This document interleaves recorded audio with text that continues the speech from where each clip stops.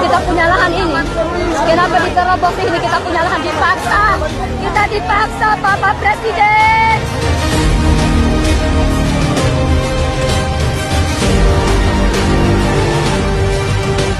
Tidak ada, tidak ada rasa kasihan ya tidak ada. Hmm.